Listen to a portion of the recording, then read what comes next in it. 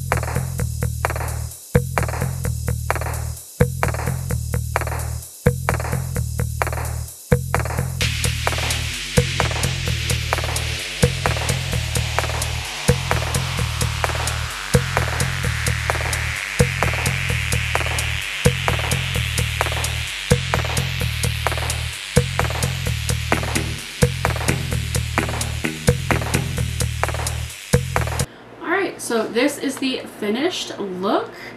Uh, I hope you think it's cute. I, I listen. It's a cute look. I I don't know. I don't know. I don't know if it was what I was picturing or not, but it's it's a cute look. So let me know what you think down in the comments. I will of course include in the description box all the products that I used and these will have some some of them will have an Amazon affiliate link with them. Affiliate links do pay me a small amount if you use them to purchase anything. Um, the way Amazon works is that if you use my affiliate link to purchase anything uh, within 48 hours, um, they do pay a small amount. There are, of course, exclusions and, and you know, to that. There's different rules and all, all that stuff. But um, it doesn't cost you anything extra. So if you shop on Amazon, it really supports me. Um, this is my birthday month. August is my birthday month. So um, I do have a tip jar on my website, beautifullyfearless.com. If you feel like tipping me anything, um, please don't feel obligated to use any of my affiliate links or to tip me anything to use that. Um, I do always include all the products that I use, regardless of whether I have an affiliate link with them or not, whether I can find them on Amazon or not, just because then y'all know um, if there's a product that you like that you would like to get for yourself. So there's that. Um, don't forget to go follow me over on the Instagram like this video if you like this video, subscribe if you haven't already, ring that bell icon to get notified whenever I upload a new video because you never know what kind of content's going to pop up over here on this channel. I thank you all so, so much for watching. I love you all very, very much, and I will see you in the next one. Bye!